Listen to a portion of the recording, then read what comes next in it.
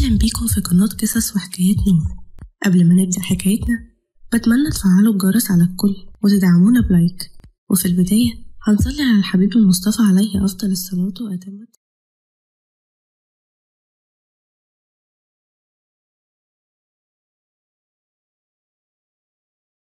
وبعدين رد عماد وقال يلا يا ماما يلا بينا. دي ناوية تاكلنا دي اتجننت على الآخر. بعدين ردت كوثر عليه وقالت له يلا يا ابني يلا بسرعة قبل ما تعمل فينا حاجة. وبعد ما خرجوا قال عماد لمامته بوش أصفر. وبسبب خوفه من كلام ياسمين قال لها بقولك إيه يا ماما؟ موضوع الجواز ده انتي تنسيه خالص.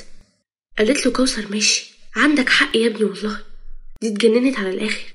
وبعدين تتجوزها؟ تتجوزها إيه؟ عشان تعمل فينا حاجة؟ ومشوا بسرعة. وكانت أمل بتضحك ضحك عليهم. لحد ما عينيها دمعت من كتر الضحك. وقالت لياسمين الله يخرب بيتك يا ياسمين ده انتي سرعتيهم قالت لها ياسمين ما هو حاجة قرف بقى. يا ساتر ده لو جم تاني أنا هكسر رجلهم بجد. قالت لها أمل لأ ده مستحيل بعد اللي انتي عملتيه ده يجوا تاني. قالت لها ياسمين أحسن برضه وكفاية عليا سي كريم ده واللي بيعمله فيا. وبعدين في بيت صفوة الحسيني قال لكريم لباباه في شيكات مهمة يا بابا ولازم امضتك عليها علشان أوديها البنك. فقال له صفوة تمام يا حبيبي. وأنت أخبارك في الشغل إيه؟ قال له كريم الحمد لله. الدنيا ماشية. بعدين قالت له سلوى العقربة وإيه أخبار المساعدة بتاعتك؟ الست ياسمين. قال لها كريم تمام وزي الفل. يا سلوى هانم.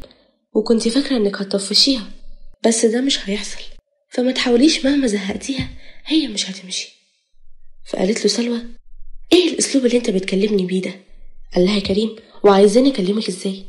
قالت له سلوى؟ تحترم على الأقل الواقع إن أنا أمك. قال لها كريم بسخرية. أكتر من كده احترام. وبعدين جت الخدامة تقول لهم إن في ضيفة وصلت بره. وكانت الضيفة دي هي نادين. فدخلت نادين. بنت جميلة وشها بشوش. وبتكون قريبة والدة كريم. وكمان نفسها تتجوز كريم. فدخلت وقالت لسلوى وحشتيني قوي يا طنط سلوى. قالت لها سلوى وانت كمان يا حبيبتي. أهلا بيكي. أخبارك إيه؟ رجعتي من باريس إمتى؟ قالت لها نادين امبارح. وبعدين نادين قالت لكريم إزيك يا كريم؟ عامل إيه؟ قال لها كريم تمام الحمد لله. ومشى وسابهم من قبل ما حتى نادين تقول له ان هي جابت له معاها هدية من بره. هو كان عارف إن هي بتحاول تقرب له لكنه ما كانش عاوزها. بعدين بعديها بشوية طلعت سلوى وراه وقالت له على فكرة أنا زهقت من أسلوبك ده. قال لها كريم بقول لحضرتك خير هو في إيه يعني؟ هو أنا عملت إيه عشان تزهقي من أسلوبي؟ قالت له سلوى أنا جاية أكلمك بخصوص نادين. قال لها كريم ومالها نادين بقى إن شاء الله. قالت له هي مالها يعني؟ البنت مش عاجباك في إيه؟ بنت شيك ومن عيلة وأي شاب يتمناها. قال لها كريم أيوة أي شاب يتمناها بس مش أنا. قالت له سلوى وليه بقى إن شاء الله؟ وأنت ناقصك إيه؟ قال لها كريم لا لا لا كفاية عليا سلوى هانم وبس مش عايز نسخة تانية منها. قالت له سلوى تصدق حقيقة أنا معرفتش أربيك. قال لها كريم آه هو حضرتك كنت فاضية عشان تربيني؟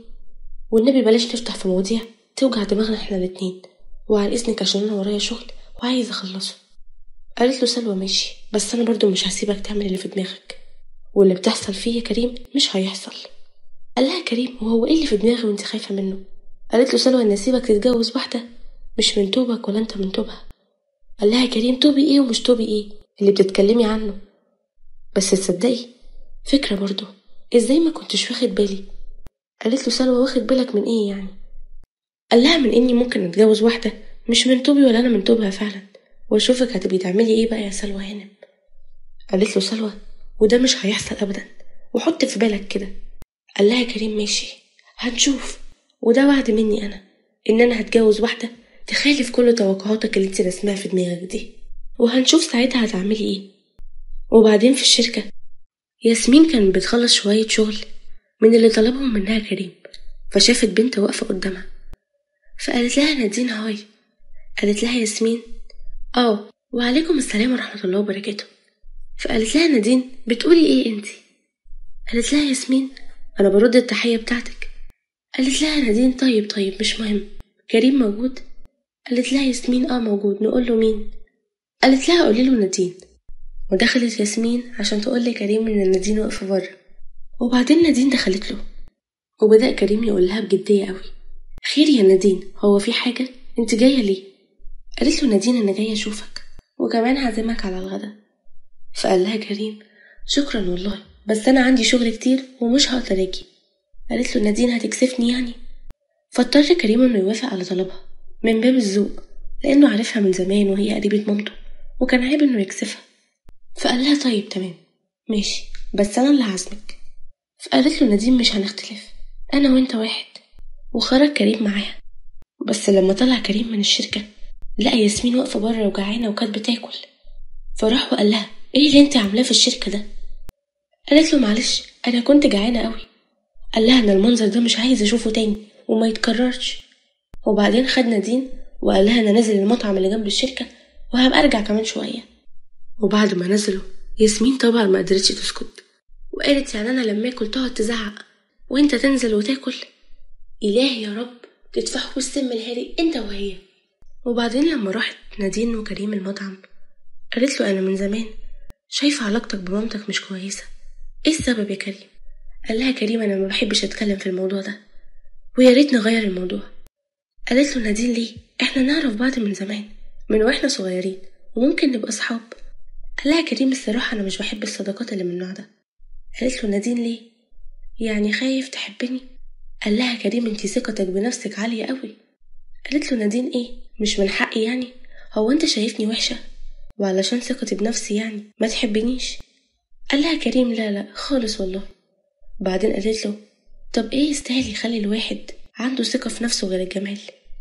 قال لها كريم حاجات كتيرة قوي بس أظن إنك مش هتفهميني. قالت له نادين طب بص أنا هحاول أفهمك. قال لها كريم هو أنت عايزة مني إيه بالظبط؟ قالت له بصراحة كده أنا عايز أقرب منك. قال لها تقربي مني؟ ليه يعني؟ هتستفادي إيه؟ قالت له نادين عشان أنا معجبة بيك يمكن. قال لها كريم آه وإيه المطلوب مني بقى؟ قالت له إنك تديني فرصة نقرب من بعض ومش جايز لو قربنا من بعض. نحب بعض. قال لها كريم لا لا لا. ما تتعبيش نفسك.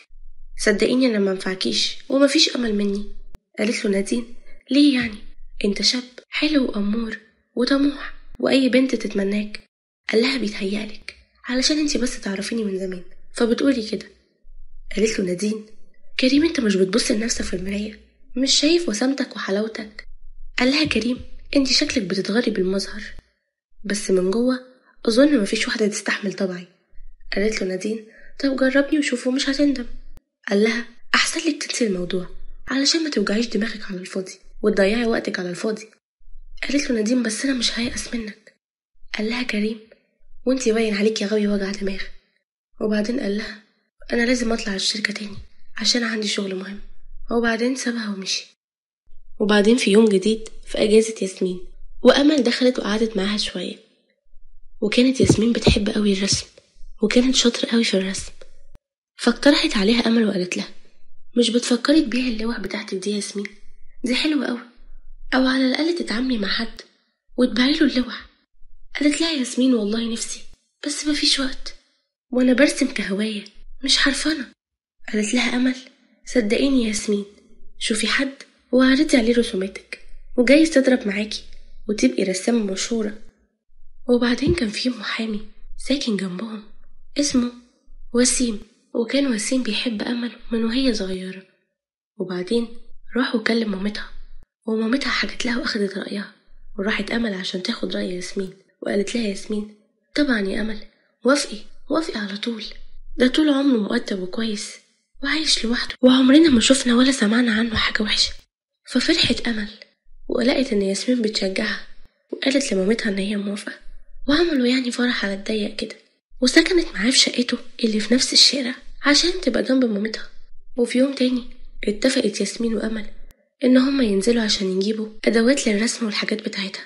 وفي وسط ما هما بيجيبوا الحاجة خبط في ياسمين واحد ووقع منها كل الألوان واتبهدلت. طبعا ياسمين كانت هتتعصب عليه بس قالت لها أمل خلاص ده ما كانش ياخد باله والله. فقالت له ياسمين بعد ما قعد يتأسف لها كتير قوي قالت له خلاص خلاص مفيش داعي للأسف. قال لها طيب أنا ممكن أجيب لك عصير؟ قالت له لا لا لا. خلاص والله ملوش لزوم ومفيش حاجة حصلت. وبعدين خدت أمل ومشت. فكريم في كل يوم ياسمين كانت بتبقى غايبة فيه وبيبقى عندها أجازة. كان بيحس بفراغ قوي وكان بيقول لنفسه هو أنا ليه حاسس بالفراغ ده كله؟ هل عشان أنا متعود عليها ولا على حركاتها المجنونة اللي بتضحكني؟ وبعدين في الوقت ده دخلت عليه مامته وقطعت عليه تفكيره. وكان عارف طبعا إنها لازم هتعكنن عليه. كالمعتاد يعني. وقالت له أنت قاعد لوحدك ليه؟ قال لها كريم عادي يعني. قالت له طب يلا قوم عشان اتغدى قال لها كريم لا لا شكرا أنا ماليش نفس مش عايز آكل. قالت له طب إيه رأيك لو خطبت نادين؟ اتعصب كريم قوي وقال لها بنرفزه هو أنا كنت قلت لك إن أنا عايز أخطبها؟ قالت له سلوى فيها إيه يعني لو خطبتها؟ هيجرى إيه؟ قال لها كريم بصوت عالي إحنا مش اتكلمنا في الموضوع ده وقلت لك أنا مش عايز أتجوز نادين. وهما بيتكلموا وصوتهم عالي دخل بابا عليهم الأوضة فقال لهم في إيه؟ مالكم؟ صوتكم عالي ليه وجايب لآخر الشارع؟ قالت له سلوى بقول له إيه رأيك تخطب نادين؟ وهو مش موافق وعمال يزعق. قال لها صفت وهو ابنك صغير علشان تفرضي رأيك عليه في حاجة زي كده. ده جواز. بعد كده قال كريم قول لها والنبي أنت بقى يا بابا علشان أنا زهقت واتخنقت. قالت لهم سلوى وأنت ناوي تتجوز إمتى بقى إن شاء الله؟ لما يكون عندك خمسين سنة؟ قال لها كريم أنا حر. أتجوز ما أتجوز؟ أنا حر. قالت له سلوى بص بقى أنا صبرت عليك. أنت هتتجوز نادين سواء برضاك أو لأ. قال لها صفوت. هو انت بتقولي إيه يا سلوى؟ كفاية بقى. قالت لهم سلوى هو ده اللي أنتوا سمعتوه أنتوا الاتنين وده آخر كلام هقوله. فرد عليها كريم بعصبية. وده مش هيحصل ابدا يا سلوى هانم. وهتشوفي انت مش عايزاني أتجوز؟ ماشي أنا هتجوز. بس اللي هتجوز بس هتجوز اللي تعجبني. قالت له سلوى باستغراب وهي مين دي بقى إن شاء الله اللي أنت هتتجوزها؟ قال لها كريم لا لا لا خليها مفاجأة أحسن.